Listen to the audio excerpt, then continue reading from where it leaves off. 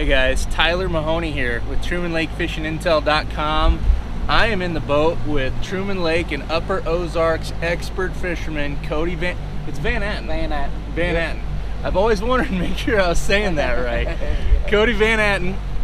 He is a hybrid extraordinaire blue catfish, spoonbill in the springtime, and we're gonna get out. It's late summertime here in August. The hybrid bite's been kind of slow in general for the last couple months, but they're starting to pick up here in the afternoons and just kind of in the dam area. And we're gonna see if we can't pick up a few. And I think we're gonna mess around maybe with some white bass, throwing some spoons.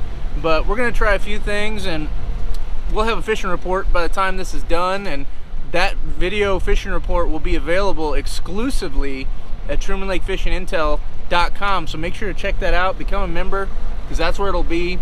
We'll shoot some other videos here with Cody today and we're gonna showcase some of the things he's got going on, like this big, big bait tank that he has. One of the things that I've learned, if you're gonna go catch shad and have live shad, you need to have a round bait tank. Those darn things, they'll run, they'll run themselves into the sides on a, on a square bait tank and they'll kill themselves. You won't even get a chance to use them. So anyway, we're gonna learn all kinds of stuff like that and we're gonna catch some fish and get you guys familiar with Cody and what he's doing out here in uh, Warsaw, Missouri on the lower end of Truman and the upper Ozarks. So looking forward to it and be sure to check him out on Facebook.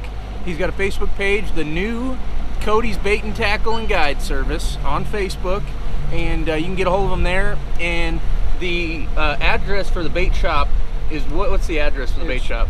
31046 Cold Springs Avenue. Warsaw, Warsaw. Warsaw, Missouri, and he's got anything and everything you could want. Uh, rod and reels, bunch of crappie baits, catfish, live bait, got all kinds of stuff in there. So as you're going through Warsaw, be sure to stop in, check them out, and show them your support. So we'll catch you guys here soon.